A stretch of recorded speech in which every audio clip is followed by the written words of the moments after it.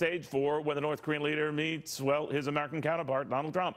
Let's get the read right now from former CIA intelligence officer Peter Brookes and Fox News foreign policy analyst Kiron Skinner. Kiron, uh, what are your views of how the meeting went between the two Korea leaders and, and what we could glean from that? It certainly seemed like they were getting along just fine.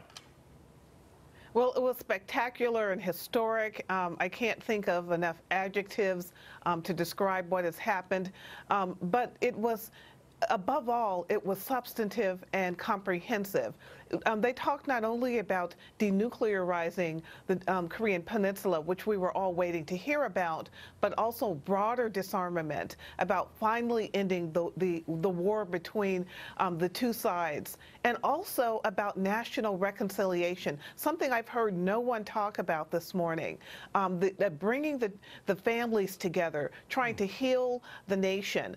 Um, we haven't, haven't seen this in addition to the fact that it's the first time that a North Korean leader um, set foot on South Korean um, soil. So in every direction, if even um, it is historic, but if half of what they talked about in their joint declaration occurs, the world has changed for the better.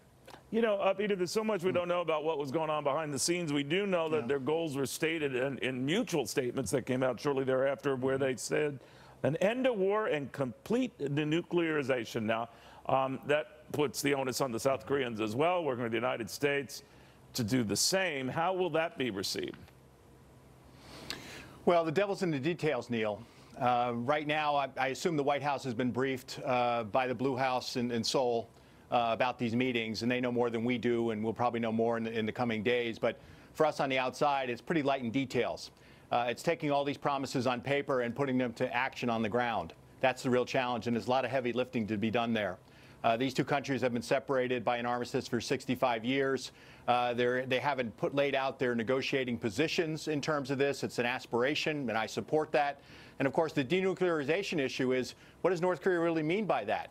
Uh, there are a lot of us who've been working on North Korea for many, many years, uh, have uh, been through the failed uh, agreements in the past uh, that are concerned about North Korea isn't really willing to completely denuclearize, that they have a different definition of denuclearization than we do.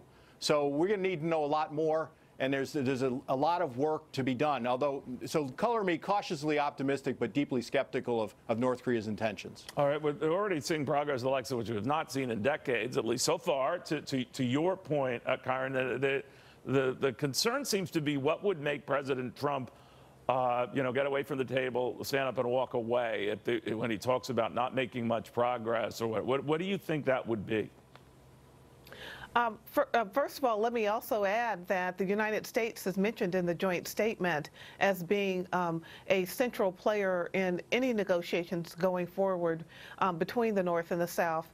And China was mentioned only after that as a potential fourth party.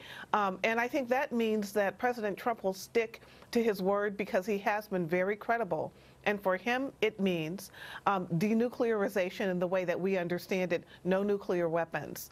And I don't believe that the U.S. president and the strong national security team he's recently assembled uh, with Mr. Pompeo and, and, and, Mr. Bolton, in addition to Secretary Mattis, um, will allow um, any other definition of denuclearization than what it actually means um, to the broader world but also we will help facilitate the peace process. And this is in a way fulfilling the America First doctrine in the sense that President Trump has called for self-determination, for regional solutions to regional problems. In fact, he's helped at the global level facilitate um, a discussion between North and South Korea, and that's what he wanted all along. Peter, very quickly though, you got to make sure whatever agreement you come to that you can verify with the North Koreans. Right. We know from prior United Nations inspection teams in places like, you know, Iraq and elsewhere in Libya, and, uh, that, that, that can be broken.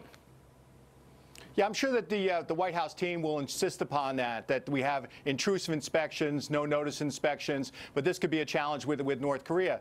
You know, this we we have made progress. Like I said, there's reason to be cautiously optimistic, but there's a lot of work to, yet to do. And our history with North Korea shows that there are significant challenges. So let's test their diplomatic intentions at talks and see where it goes. All right, guys, I want to thank you both Very, very much. Uh, again, also a good start on this. Uh, when it comes to that meeting with the uh, German Chancellor Angela Merkel and President Trump,